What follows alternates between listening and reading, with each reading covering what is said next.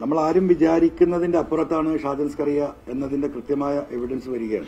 കേരള പോലീസിന്റെ വയർലെസ് സന്ദേശം യൂട്യൂബ് വഴി ജനങ്ങളിൽ എത്തിച്ചിട്ടുള്ള വളരെ ഗുരുതരമായ രാജ്യദ്രോഹ കുറ്റമാണ്. എന്താണ് ഷാജൻ സ്കറിയെ അറസ്റ്റ് ചെയ്യാൻ കഴിയും ഇതിലും വലിയ പ്രതികളെ കേരള പോലീസ് അറസ്റ്റ് ചെയ്തിട്ടുണ്ട്. വലിയ ചോദ്യമാണ്.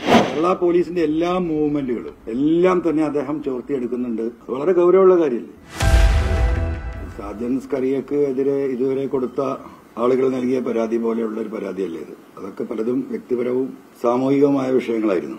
ഇന്ന് ഞാൻ നൽകിയ പരാതി കേരള പോലീസിന്റെ വയർലെസ് സന്ദേശം ചോർത്തുക മാത്രമല്ല അത് അദ്ദേഹത്തിന്റെ യൂട്യൂബ് വഴി ജനങ്ങളിൽ എത്തിച്ചിട്ടുള്ള വളരെ ഗുരുതരമായ രാജ്യദ്രോഹ കുറ്റമാണ് പോലീസിന്റെ പ്രൈവറ്റ് പോളിസിയെ തന്നെ ബാധിക്കുന്ന വളരെ ഗൗരവമുള്ള വിഷയമാണ്. ഇതോടനുബന്ധിച്ച് കഴിഞ്ഞ കുറെ ദിവസങ്ങളായിട്ട് ഇപ്പോൾ ഹൈക്കോടതിയിൽ അദ്ദേഹത്തിന് മൂന്നാഴ്ചത്തേക്ക് അദ്ദേഹത്തെ അറസ്റ്റ് ചെയ്യരുത് എന്ന് പറഞ്ഞ് കിട്ടിയ വിധിക്ക് വിധിയോടൊപ്പം തന്നെ അദ്ദേഹത്തോട് അനാവശ്യമായ കാര്യങ്ങൾ പറയരുത് എന്ന രീതിയിൽ സുപ്രീം കോടതി പറഞ്ഞിട്ടുണ്ട്. പക്ഷെ അതിനൊക്കെ മറികടന്നുകൊണ്ട് വീണ്ടും ഇന്നും ഇന്നലെയും ഒക്കെ തന്നെ ഈവൻ ശ്രീ വെള്ളാപ്പള്ളി നടേശനെ പറ്റി വളരെ മോശമായ വീഡിയോ ആണ്. അദ്ദേഹം ഒരു കൊലക്കേസ് പ്രതിയാണ് കള്ളക്കച്ചവടക്കാരനാണ് എന്നൊക്കെ പറഞ്ഞിട്ട് അദ്ദേഹം ഇത് തുടരുകയാണ്. അത് വേറെ വിഷയമാണ്. നമ്മൾ ആരും വിചാരിക്കുന്നതിന്റെ അപ്പുറത്താണ് ഷാജൻസ് കറിയ എന്നതിന്റെ കൃത്യമായ എവിഡൻസ് വരികയാണ്. അപ്പൊ അദ്ദേഹത്തിന് പോലീസിനെ അറസ്റ്റ് ചെയ്യാൻ കഴിയുന്നില്ല. വലിയ പരാതി വന്നുകൊണ്ടിരിക്കുകയാണ്. എന്താണ് ഷാജൻസ് കറിയെ അറസ്റ്റ് ചെയ്യാൻ കഴിയും ഇതിലും വലിയ പ്രതികളെ കേരള പോലീസ് അറസ്റ്റ് ചെയ്തിട്ടുണ്ട്. വലിയ ചോദ്യമാണ്. പക്ഷെ ആ ചോദ്യത്തിന്റെ ഉത്തരം വളരെ കൃത്യമാണ്. കേരള പോലീസിന്റെ എല്ലാ മൂവ്മെന്റുകളും അവരുടെ ഇമെയിലുകൾ കേരള പോലീസിന്റെ ഫോൺ സന്ദേശങ്ങൾ കേരള പോലീസുമായി ബന്ധപ്പെട്ട് നടക്കുന്ന മറ്റു മെസ്സേജുകൾ എല്ലാം തന്നെ അദ്ദേഹം ചോർത്തിയെടുക്കുന്നുണ്ട്. അതുകൊണ്ട് തന്നെയാണ് കേരള പോലീസ് കഴിഞ്ഞ ഒരുപാട് ദിവസങ്ങൾ മുങ്ങിത്തപ്പിയിട്ടും ഇദ്ദേഹത്തെ കണ്ടെത്താൻ കഴിഞ്ഞില്ല എന്നതിന്റെ തെളിവ് തന്നെ അതാണ്. അതുകൊണ്ട് ഇതൊരു ചെറിയ കാര്യമായി കാണാൻ കഴിയില്ല.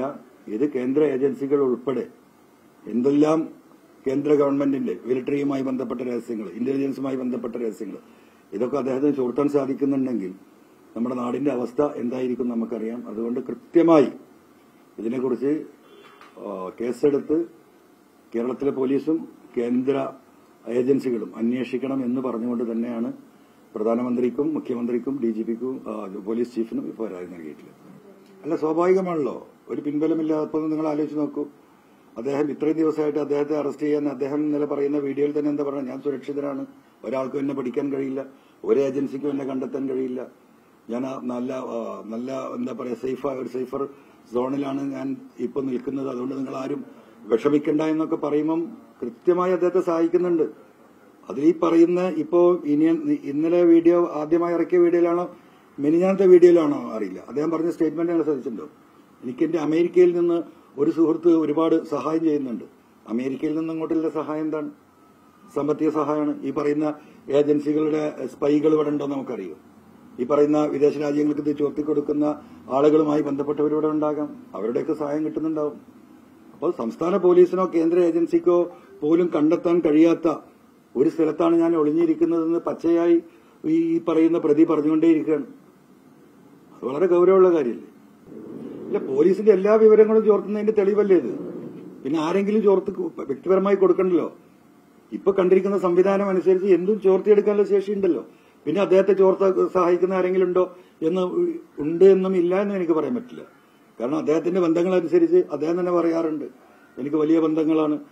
പോലീസുമായി ബന്ധം മിലിറ്ററിയായിട്ട് ബന്ധം കേന്ദ്രമന്ത്രിമാരുമായി ബന്ധം വ്യവസായി ഞാൻ വളരെ വലിയവനാന്ന് എത്രയോ വീഡിയോകളിൽ ആവർത്തിച്ച് ആവർത്തിച്ച് പറയുന്ന ഒരു വ്യക്തി അദ്ദേഹം തന്നെ പറയുന്നുണ്ട്. എനിക്ക് വലിയ സോഴ്സ് ഓഫ് ഫ്രണ്ട്സ് കേരള പോലീസിലും അല്ലാത്തടത്തൊക്കെ ഉണ്ടെന്ന് പറയുന്നുണ്ട്. അങ്ങനെയും വരാം. അതൊക്കെ പോലീസ് അന്വേഷിക്കേണ്ട കാര്യമാണ്.